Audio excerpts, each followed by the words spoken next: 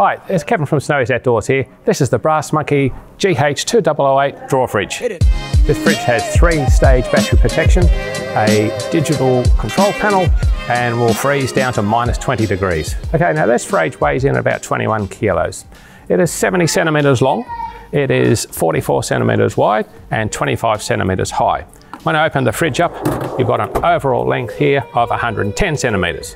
Now on the sides of the fridge, there's really nothing. It's a nice solid steel case. Same with the top. Now around the back here is where you plug the power in. This is your plug. It'll run on either 12 volt or 24 volt. This is a brass monkey compressor. Just plug it straight into there. And of course, if you want to run it off 240 volt, you need to purchase a separate adapter. So around the front of the fridge, you've got your control panel here. So you've got your uh, power button there your setting buttons there. That allows you to choose between high, medium, and low for battery protection. Now, low protection means it'll draw more current out of your battery before it automatically switches off. High protection means it'll draw less current out of your uh, battery before it cuts off. And it has a range between 20 degrees and minus 20 degrees. We'll open the fridge up, little plastic handle here you pull out. Now we've got a refrigerator grade polyurethane foam in the walls for insulation. The dimensions in here is 41 centimeters long 31 centimetres wide and 15 centimetres tall.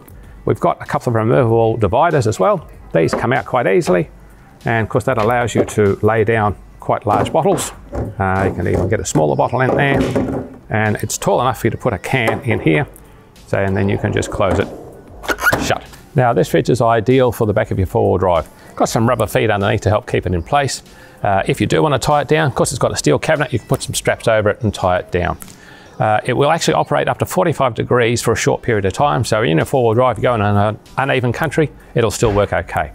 If you want to clean the fridge, you simply open the drawer out, a couple of small levers on the side, you undo those and the drawer will come out, so keep it nice and clean.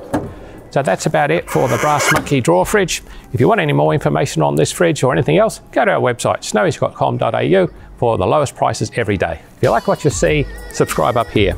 If you want to see any more videos, click over here. And if you've got any questions, leave a comment down here.